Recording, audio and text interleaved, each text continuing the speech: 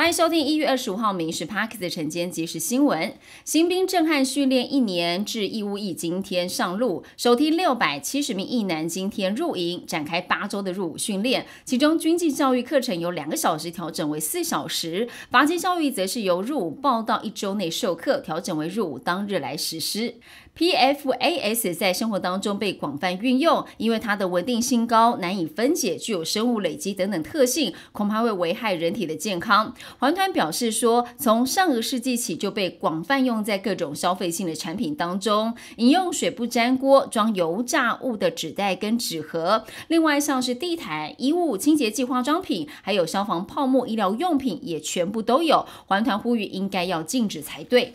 不少中老年人患有阿兹海默症的风险，检测方法复杂而且昂贵，不是所有人负担得起。欧美及加拿大医疗团队针对七百名跨国人士，经过八年研究，发现患者血液当中也有这种蛋白，因此也可以透过验血及早发现、及早开始治疗，而且精准度不输给断层扫描，未来有助于及早发现、延缓失智恶化的程度。为了迎接农历春节，方便民众采买，台北六大批发市场除夕是照常营业的。台北第一、第二果菜市场、环南家禽批发市场、台北鱼市还有公有零售市场、台北市的内湖花市，在春节除夕都有营业。初一到初五是休市，初六才会开市。